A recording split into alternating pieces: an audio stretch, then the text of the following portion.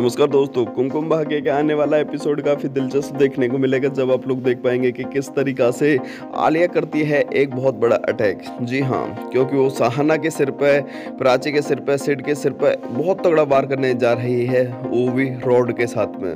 क्योंकि दोस्तों, अब पूरी तरीका से खेल खेल रही है आलिया और आलिया इस समय चाहती है कि ये लोग फिर भी चालाकी दिखा रहे, इससे तो इनको खात्मा हो जाए तो वाकई में रणबीर मिल जाएगा सीधा सीधा रिया को। और रिया के लिए ही इतना बड़ा क्राइम करती हुई नज़र आ रही हैं और उसका मानना ये है कि किसी भी तरीका से रिया और रणबीर एक हो जाएँ और प्राची हमेशा हमेशा के लिए इस दुनिया को अलविदा बोल दें। क्योंकि दोस्तों आप लोग जानते हैं कि आलिया का पूरी तरीका से प्लान एक्सपोज होने ही वाला था कि अचानक आलिया ने पीछे से वार कर दिया। नहीं तो सभी को पता लग जाता कि आलिया कितने ज़्यादा घातक है और वो सीट को मारने के लिए किन किन लोगों को सुपारी देने की कोशिश कर रही है।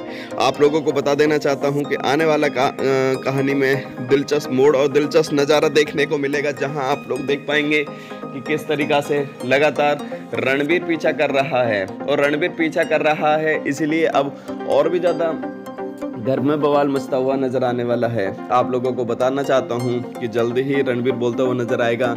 रिया से कि रिया जो तुम बोल रही थी कि इस तरीका से कुछ हुआ है, ऐसा कुछ भी नहीं है, बल्कि तुम इन लोगों के ऊपर झूठा ही आरोप लगा रही थी। क्योंकि आप लोग जानते ही हैं कि झूठा आरोप रिया ने लगाया था कि इस तरीका से प्राची और सिड एक दूसरे के साथ में रोमांस करने के लिए होटल गए हैं। जैसा कि ऐसा कुछ भी नहीं था, ये टोटल पूरी तरीका से एक बोला जाए तो इनके ऊपर सिर्फ़ आरोप था।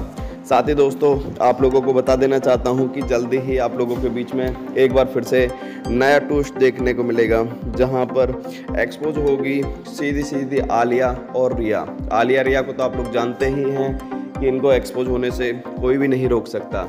साथ ही दोस्तों, मेरे यूट्यूब चैनल को सब्सक्राइब करने के बाद